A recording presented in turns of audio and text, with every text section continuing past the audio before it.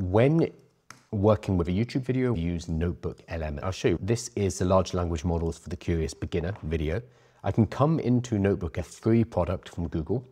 I click create new notebook, select a YouTube video, and I'm plugging the YouTube video into Notebook LM.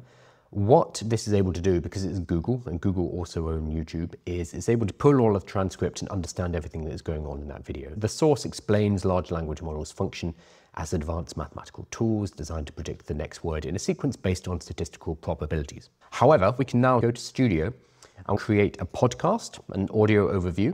I'm going to click all of them. Briefing document, flashcards, quiz, infographic, slide deck, and data table. They're always adding new things. This is generating a bunch of learning resources for me.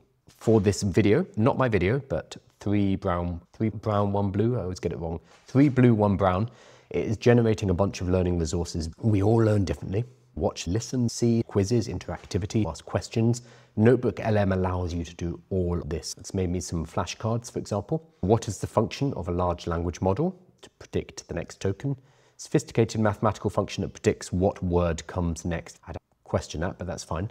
So it made me a set of flashcards connected to that video so I can deepen my understanding of that video. How does a chatbot generate a response using a large language model? Let's see the answer. It predicts the next word, adding each predicted word to the script, etc. You can see the power. It's also made me a briefing document, a summary of the video, really useful. It's made me a quiz. This is a multiple choice quiz. Fundamental task a large language model is designed to perform.